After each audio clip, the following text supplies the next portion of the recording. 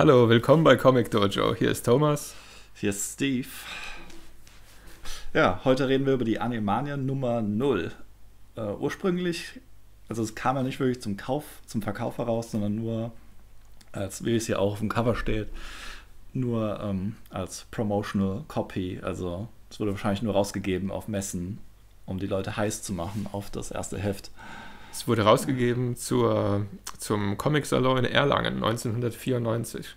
Hm. Ich glaube, das war nur, nur an diesem einen speziellen Event wurde die rausgegeben. Und ja, kostenlos verteilt, um ein bisschen Werbung zu machen für das Animania-Magazin, das dann demnächst erscheinen sollte.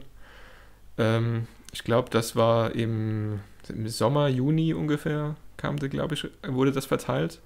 Und die eigentliche Animania kam dann aber erst im Herbst, späten Herbst, so Oktober, November raus.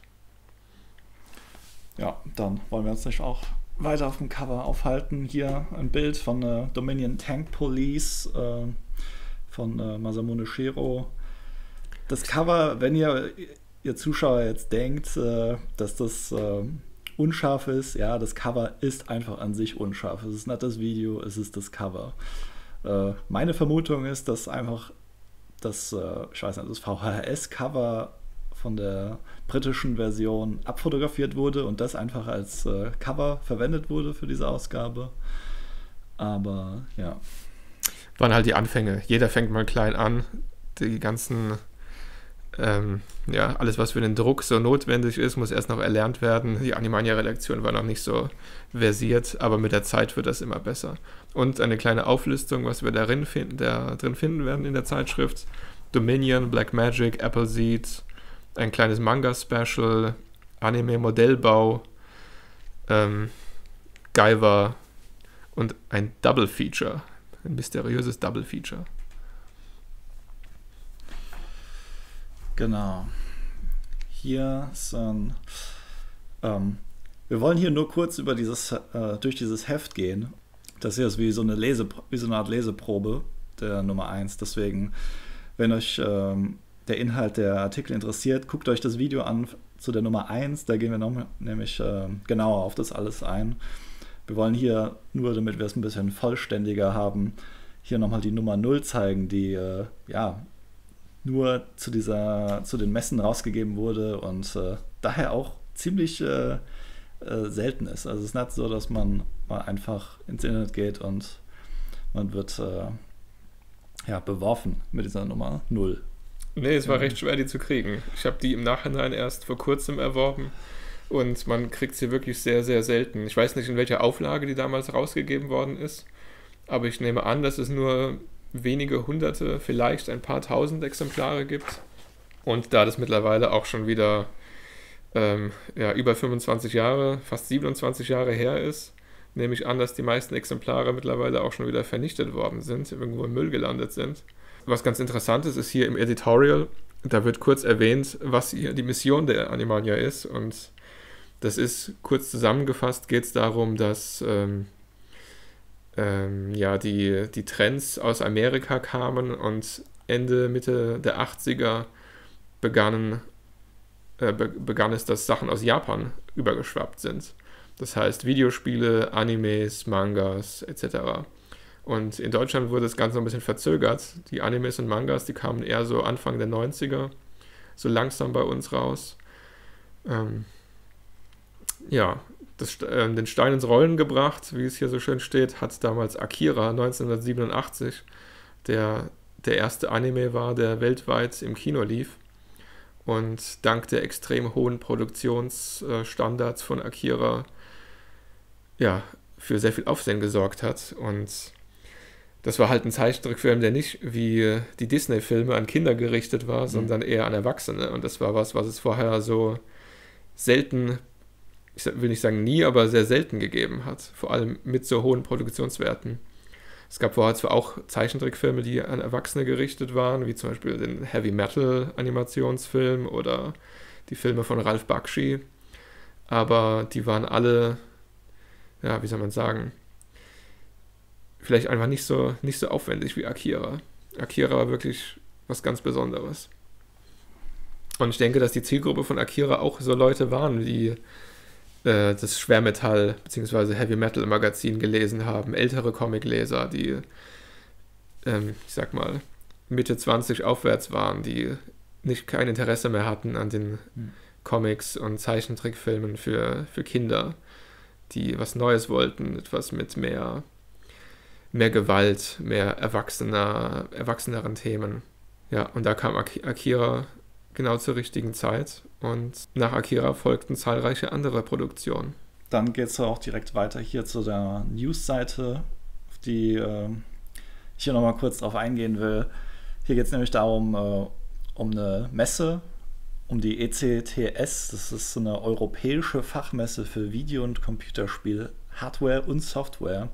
Und äh, Manga Entertainment Limited, die sehr viele äh, Anime-Titel in äh, Europa veröffentlicht hat und immer noch äh, besteht, ähm, war auf dieser Messe und äh, ich finde das einfach so verrückt, weil hier geht es nicht mal um eine Anime-Messe, es geht hier um eine, ja, eine Fachmesse für Video- und Computerspiele. Es ist nicht, äh, das war noch vor der ganzen Zeit der Conventions und äh, ja. Und äh, im selben Zug hat sich der Londoner Anime Club dann äh, getroffen. In diesem ganzen Artikel geht es eigentlich nur darum, dass sich ein paar Leute getroffen haben in einem Pub, um, äh, ähm, ja, um über Animes zu quatschen.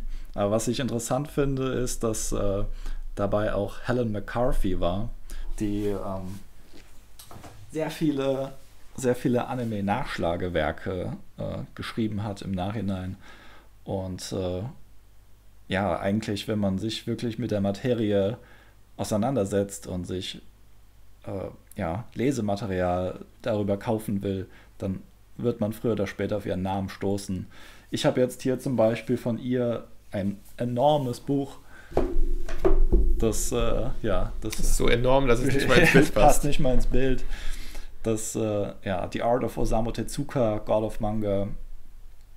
Ein unglaubliches Buch, äh, was man auf jeden Fall besitzen sollte, wenn man äh, ja, sich mit Mangas, aber auch generell mit Osamu Tezuka und, der, und dem ganzen äh, Kram auseinandersetzen will. Und äh, ja, ich denke, das Buch, also generell, ich denke, wir werden auch in Zukunft ein paar Tezuka-Videos machen, weil Osamu Tezuka, die Leute, die ihn nicht kennen, im Grunde der, ja, er wird ja immer als Walt Disney der, der Manga Szene und äh, der Animationsszene genannt, aber ich finde, er ist so viel mehr eigentlich, wenn man sich mit seinem Werk auseinandersetzt. Aber das, das wird ein anderes Mal. Ich wollte es nur mal kurz zeigen.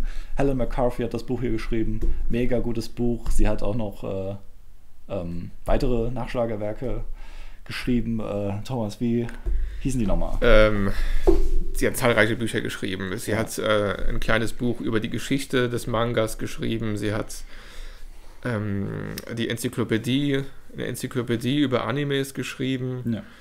Und also sie ist eigentlich die Autorin, wenn man sich dann mit der mit, den Themen, mit dem Thema Anime und Manga auseinandersetzen will, dann kommt man nicht drum rum, ihre Werke zu lesen. Die sind sehr ausführlich, sehr gut geschrieben, sind eigentlich mit unter die besten Bücher, die man dazu finden kann und sehr zu empfehlen. Wer sich wirklich ernsthaft damit auseinandersetzen will, sollte sich ihre Bücher zulegen. Ähm, genau. Absolut, ja. So, ja, dann gehen wir mal weiter im Programm hier. Genau, also hier Artikel über Masamune Shiro, aber ja, in der Nummer, in dem Video zur Nummer 1 gehen wir viel näher auf diese Artikel ein. Und eigentlich, ähm, ja, was wir auch schon bei der Nummer 1 gesagt haben, die meisten Artikel bestehen nur aus ähm, ja, aus äh, Zusammenfassung der Handlung der einzelnen Animes. Und äh, ja, ich, ich kann mir nur vorstellen, wie. Also hätte ich das früher alles gelesen, wäre ich wahrscheinlich genervt gewesen, weil, ah, ich. Weil man liest sich die Inhaltsangaben hier durch und dann sagen sie noch zum Schluss, ja, aber das kostet 100 D-Mark, um sich den Kram irgendwie zu bestellen. Und ja, die Kohle hat kein Mensch früher gehabt. Und zudem steht meistens noch dabei, es ist eh schon ausverkauft. Und es ist schon ausverkauft. Das also heißt, man ärgert sich einfach nur die ganze Zeit, während man sich dieses Heft durchliest. Man kriegt es in unserem Land hier nicht und wenn man es sich importieren will, dann kann man es vergessen, weil es entweder zu teuer ist oder ausverkauft. Das ist schon frustrierend. Man wird hier heiß gemacht auf die Sachen, man will das alles sehen und gucken und lesen, aber Ja. Es, es scheint irgendwie aussichtslos, wobei es auch gar nicht, meistens gar nicht so wild ist. Es gab eigentlich immer Mittel und Wege, an irgendwelche Sachen ranzukommen, aber es wird einem so das Gefühl vermittelt, lass es lieber ganz. Ich glaube, der Artikel ist in der Nummer 1 ein bisschen ausführlicher und dieses Bild ist in der Nummer 1 dann weggefallen, was komisch ist, weil hier geht es in dem Artikel um den Anime und das einzige Bild vom Anime haben sie dann doch rausgeschmissen. Komische Entscheidung, aber okay. Ähm, genau. Nur damit ihr es hier nochmal seht, ähm, als so eine Art ja, Artefakt der Zeit, die Nummer 0 von äh, der Animania. Hier die Rückseite ist anders als bei der Nummer 1. Hier geht es um, um den Verkaufsstart der Animania. Hier sagen sie 25. Juli. Äh, aus welchen Gründen auch immer ähm, erschien dann die Nummer 1, aber erst im äh, Oktober, November. Ähm, ja, und äh, genau, hier ein paar Abo-Infos, also die ja, horrenden Preise. Vier Ausgaben inklusive Porto für 37,90 D-Mark. Ähm, ja, für die Leute, die nur die Euro-Währung kennen, das wäre heutzutage so um die 18 Euro. Das geht eigentlich. Vergleicht- heutzutage wäre es wahrscheinlich wieder 38 Euro. Wahrscheinlich, ja. Aber die Animania war schon recht teuer. Ich erinnere mich daran, es, Mhm. es hat schon ordentlich am äh, Ja. im Geldbeutel geschmerzt, sich eine Animania zu kaufen, weil man für das Geld auch meistens zwei Mangas kaufen konnte oder einen halben Mhm. Anime. Das stimmt, ja. Das sollte man dann immer. Das war auch dann immer meine Ab Überlegung beim Abwägen, ob man sich wirklich äh, kaufen sollte oder nicht. Aber Steve, was war Ja. jetzt eigentlich das Double Feature, Das Double Feature. das hier auf dem Cover erwähnt wird?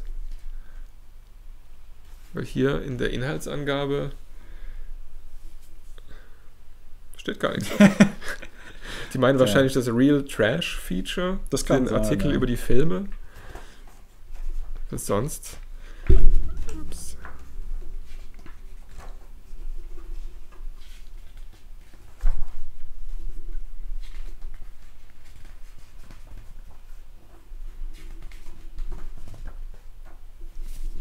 Nee, ich glaube, es geht wirklich um die. Ja, Es ist obwohl, aber das auch ist kein auch kein Double Double Feature. Also Verarschung pur hier bei der Nummer 0. Nee, aber ja. Es war kostenlos. Es war kostenlos, genau. Geschenken Gaul schaut man ins Maul.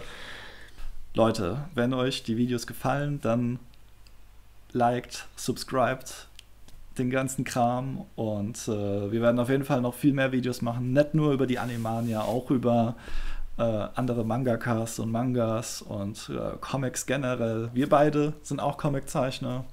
Meine Sachen könnt ihr auf Instagram unter Steve-Luzalek. Ähm, die Links sind natürlich auch alle unter dem Video äh, verlinkt. Da könnt ihr euch auch meine Comics und Illustrationen angucken. Und äh, ja, auch unter stevesluzalek.com. Thomas, wo gibt's deinen Kram? Ähm, Thomas-Lezalek.com ist meine Homepage und Thomas Lezalek auf Instagram. Beziehungsweise Thomas-Lezalek auf Instagram. Ähm, eine Sache will ich noch erwähnen. Ja. Die Nummer 0 war für mich immer ein Mysterium. Ich habe alle anderen Ausgaben habe ich ähm, gelesen, aber die Nummer 0 habe ich erst vor kurzem gekriegt, als letztes praktisch und für mich war das immer eine mysteriöse Ausgabe. Was ist in dieser Nummer 0 drin? Hm. Und es ist, wenn man die anderen Ausgaben schon hat und dann einen Haufen Geld ausgibt, um sich online die Nummer 0 zu kaufen, ist man dann doch ein bisschen enttäuscht, dass das nur eine Leseprobe Sehr ist. unspektakulär, ne? Also für alle Boah. diejenigen, die sich immer gefragt haben, was ist in dieser Nummer 0 Spektakuläres drin, ihr habt es jetzt gesehen, das sind eigentlich nur Artikel, die auch in der Nummer 1 drin sind, nur mit dem Unterschied, dass die Artikel hier noch nicht ganz fertig sind, beziehungsweise Mhm. teilweise ein bisschen fehlerhaft. Ähm, es gibt diesen einen, diesen einen Artikel, der umschreibt Anime-Begrifflichkeiten hier, die Anime-Basics. Und da steht bei SD super deformed eine Bezeichnung für weniger niedliche als vielmehr gigantische und böse Charaktere. Ja, ist nicht ganz richtig. Also eigentlich genau das Gegenteil. Das sind eigentlich super verniedlichte, kleine, geschrumpfte Charaktere. Und auch generell in den ganzen Artikeln sind hier und da einige Fehler, die sie dann in der richtigen ersten Ausgabe der Animania ausgemerzt haben und korrigiert haben. Ist ganz interessant als äh, kleines Relikt aus der Zeit. Wer ein super Sammler ist, so wie ich, der will das natürlich haben, aber für all diejenigen, die nur Interesse haben an den Artikeln, für die gibt es hier eigentlich nichts. Die können eigentlich bei der Animale Nummer 1 bleiben. Das wollte ich noch erwähnen. Ja, dann ist damit alles gesagt und ja, bis zum nächsten Mal. Adios.